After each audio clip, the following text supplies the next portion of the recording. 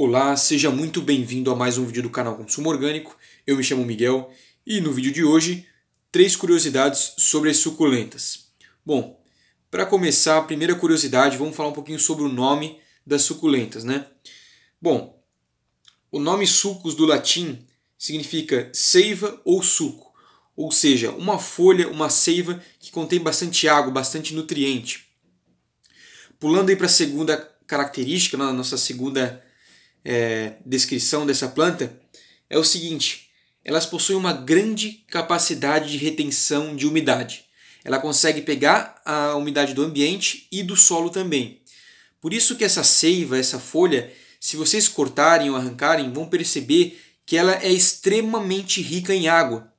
E é por isso que ela aguenta tanto aí uma, o solo seco, uma temperatura quente, porque ela tem bastante reserva de água. Então não é interessante que você esteja toda hora encharcando aí o seu vaso, porque senão você vai acabar afogando a sua planta e não é isso que você quer.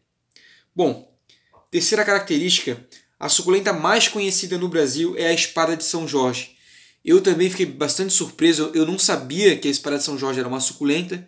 Pesquisando aí eu descobri que ela é um tipo de suculenta bem bacana, bem interessante. Acredito que você conheça essa planta, é bem bonita, bem exótica. O Brasil inteiro conhece e ela também é uma suculenta.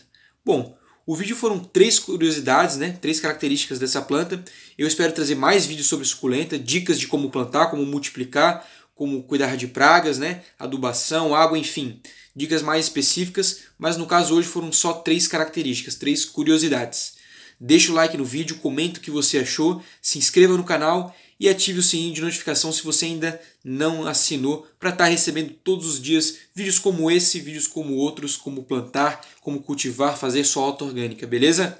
Nos siga no Instagram, arroba canal Consumo Orgânico, muitas fotos e vídeos interessantes para você. Uma boa semana, fique com Deus.